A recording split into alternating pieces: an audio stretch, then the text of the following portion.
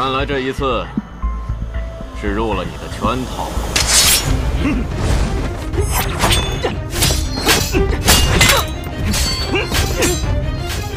你故意引我出来，是想杀我？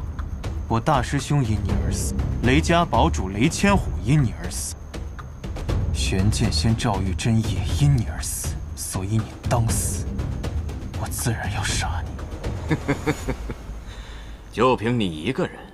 我当然知道你不好对付，但我也不是一个人来的。沐雨，你居然和他联手？大家长。还请回头。我从未想过有一天要和你交手。当你做出那个决定的时候，就应该猜到我们之间必然会有此一战。我们本来就是活在黑暗下的人，我以为你不会在意这些。你说过，此次形势虽为黑暗，但会带领我们走向光明。可我看到的。只是为了自己的痊愈，将族人们一个个派去送死。也罢，那就你走你的鬼门关，我踏我的断魂桥。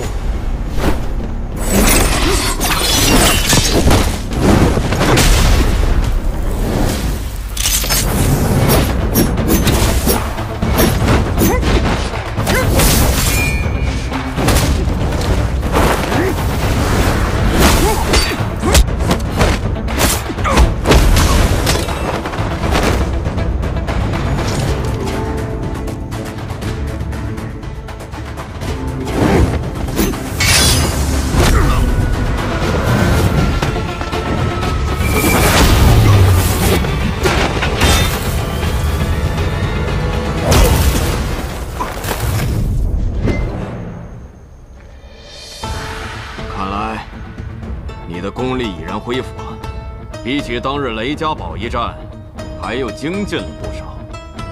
足够杀你了。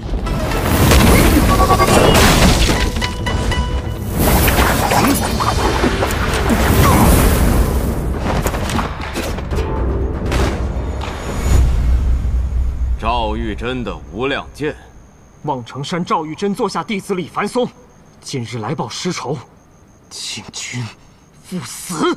还有我，望城山飞轩，请君赴死。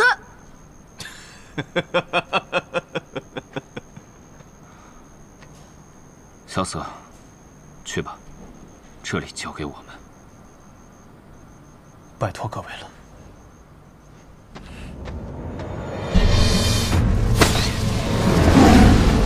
赵玉真的太乙狮子诀。